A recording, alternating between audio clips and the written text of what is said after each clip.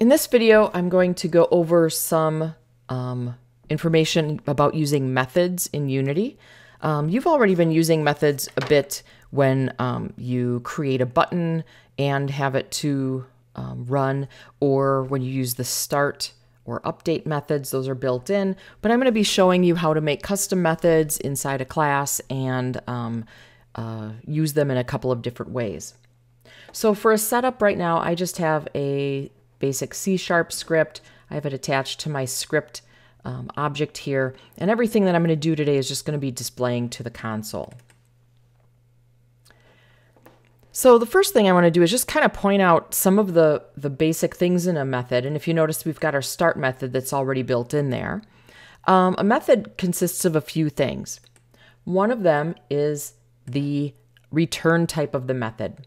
Now, start is built in and notice it says void. That means that the method will not be returning any value to somewhere else. And we'll be talking about that in a little bit. We have the name of the method and then we have parentheses. And inside those parentheses, we could pass in parameters. Now the start doesn't take any. Also, before this, we could put an access modifier, and today we're not going to be talking about um, those that much. Um, this is sort of optional. If you don't have a, an access modifier, this will be private and it can only be used within an access within the class. So just to keep it simple, I'll be leaving those out for now. And then we've got curly braces and everything we want to run is inside of our curly braces. So let's um, do some examples, and that's kind of the best way to deal with that. Let's do a very basic method. Now we're going to use start to call our methods. Now methods are something that won't run until they're called or run. Um, so we'll use that. That one start runs automatically. So I'm going to go here and make my new method. Now, how about we want to make a very basic method and it's just going to write a greeting. So what I can do is I'm going to say void, which is the return type. We're not returning a value. It's just going to do something.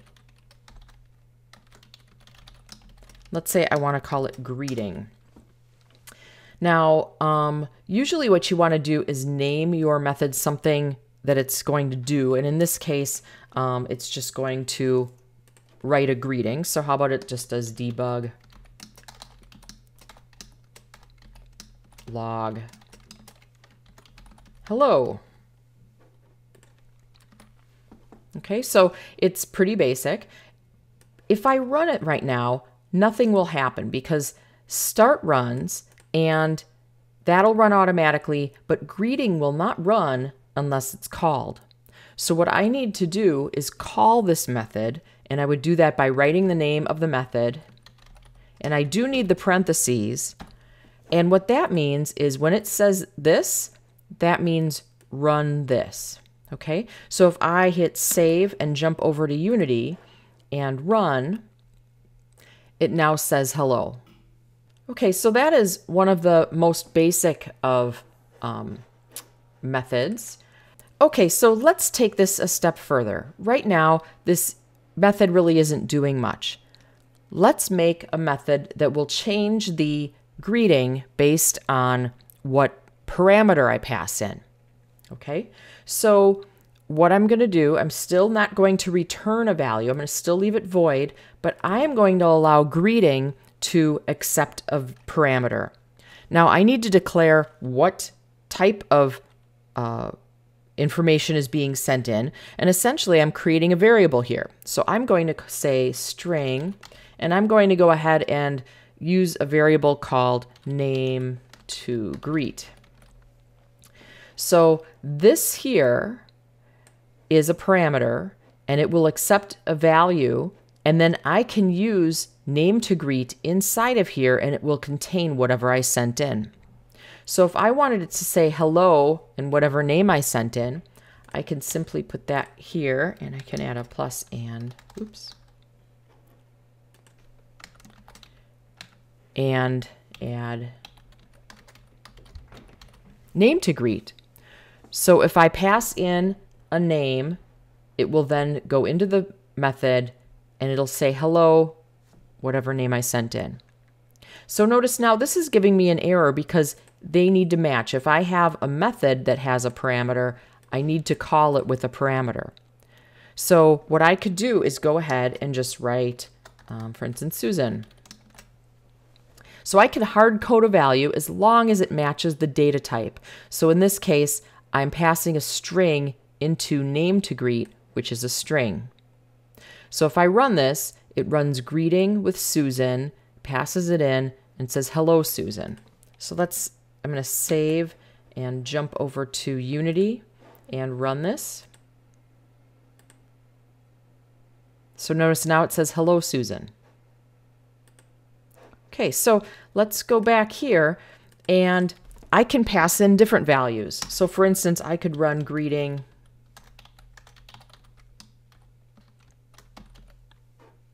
to Joe.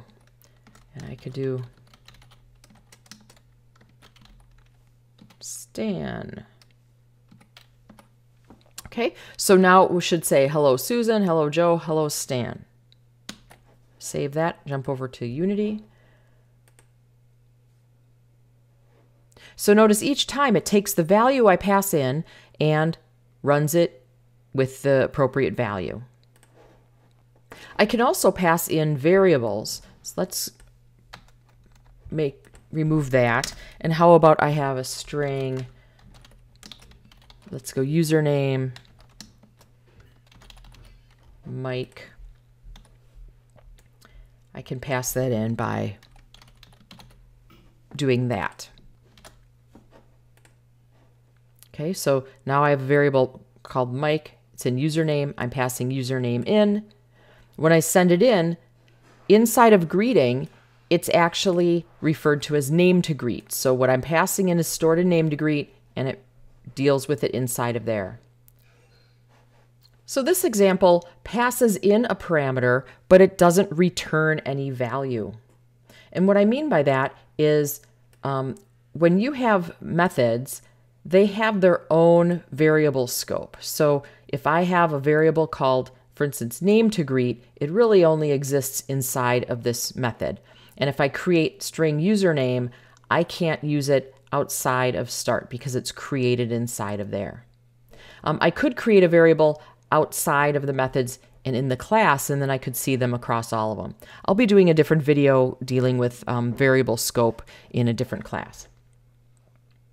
But for now, if you can imagine, each section essentially has its own area and memory, and they don't talk very well. So we need to pass things around, just like we passed a value into the parameter. So we can return a value. Let's uh, do a different example. I'm going to remove this. Let's do a uh, method where it will square a number, as in it multiplies it by itself. So I'm going to have this method take a number in, do what it needs to to it, it'll multiply it by itself, and return the answer. So since this has a return value, I need to declare what type of value it's returning. And in this case, it's an integer. I need to name my method. I'm going to call it square it. And it's going to take in, I'm just going to call it um, number. Okay, and our methods need curly braces now notice it's giving us an error because we haven't returned a value yet. Um, so it'll the error will go away once I return something. So I'm getting this number in, and let's go ahead and make a new integer that will hold the squared number.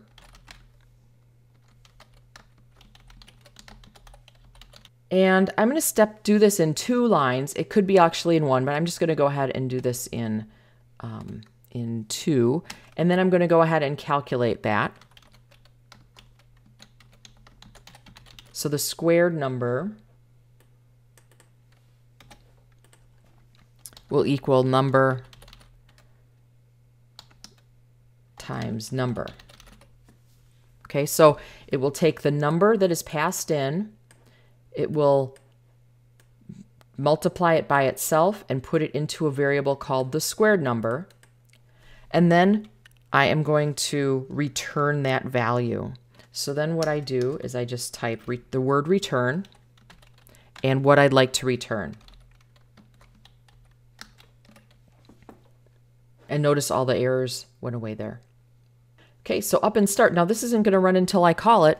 Let's um, pass something in. So what I can do is, um, let's say I am going to store it inside an uh, integer. Let's call it answer. And the answer is going to be, um, I'm going to take square it.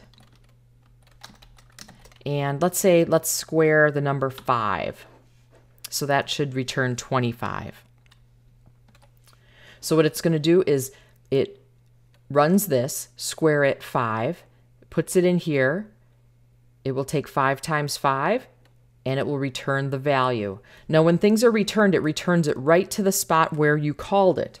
So in that case, 25 will go into answer. And right after that, I can go ahead and, and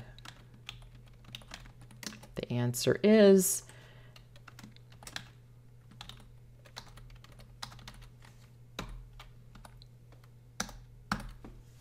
answer.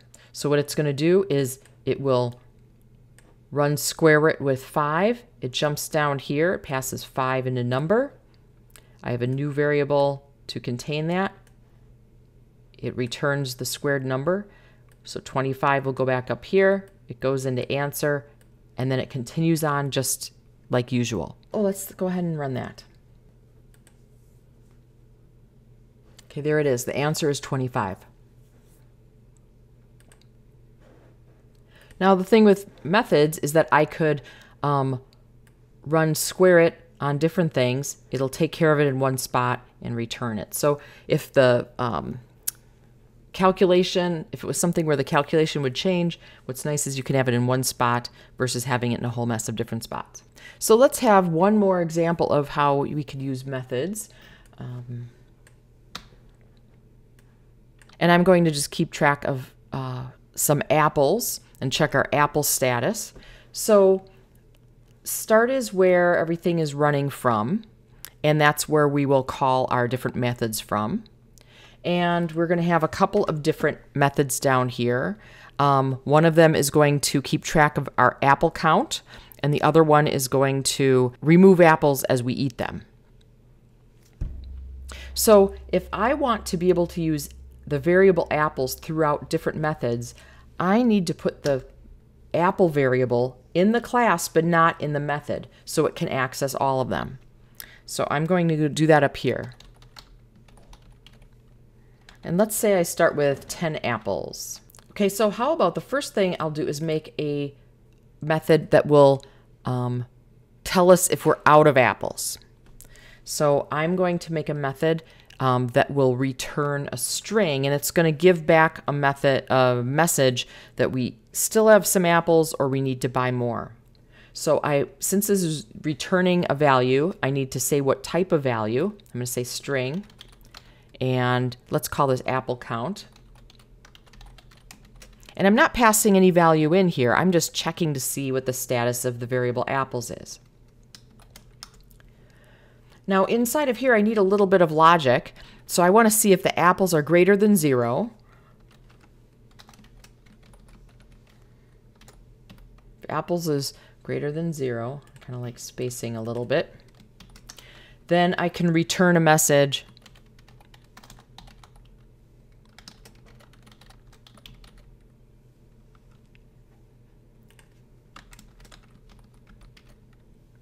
Okay, so what that would do is it would actually return a string of we still have, and it'll say how many apples we have. So how many the value is.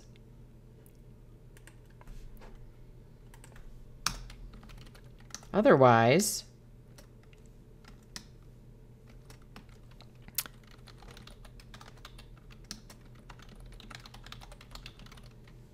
we need to buy more. So if we are at zero, we need to buy some more apples.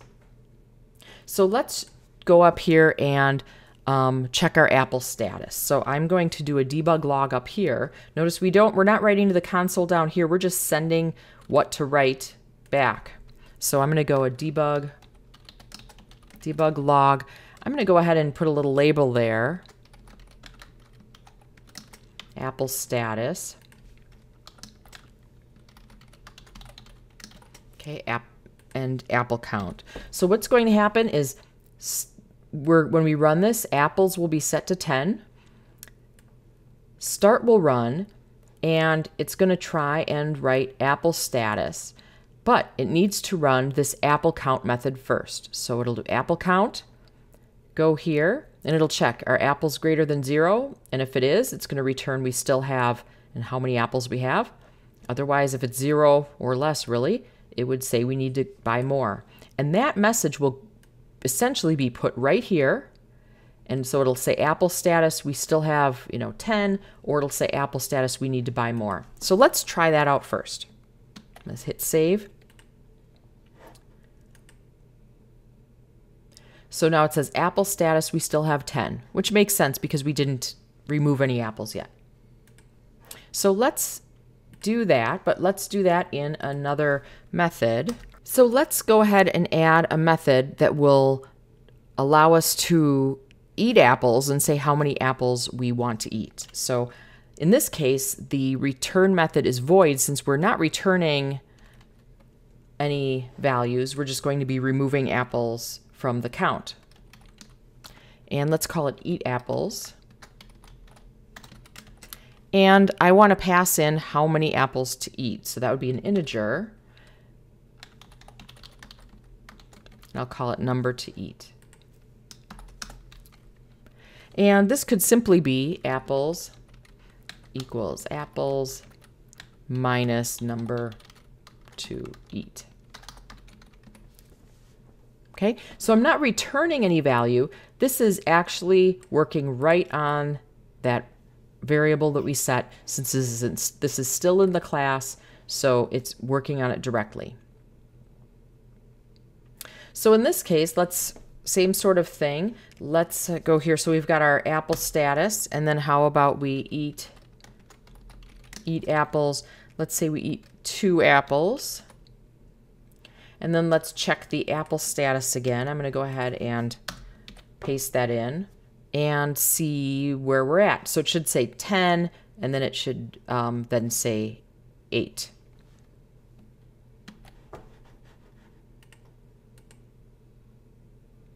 We still have 10, we still have 8. Now another thing I could do is inside of here in the eat apples, I could say um,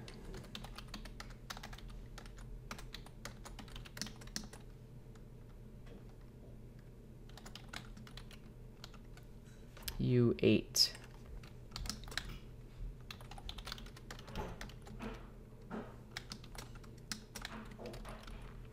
So I could essentially do a status of how many you ate just to um, make the log make more sense. So let's check this out. So we have 10, you ate two apples, we have eight. So let's check this again. Let's just change this a little bit. So I could go eat apples. Let's say a five. Then we ate, how about two more? I need to do an apple status.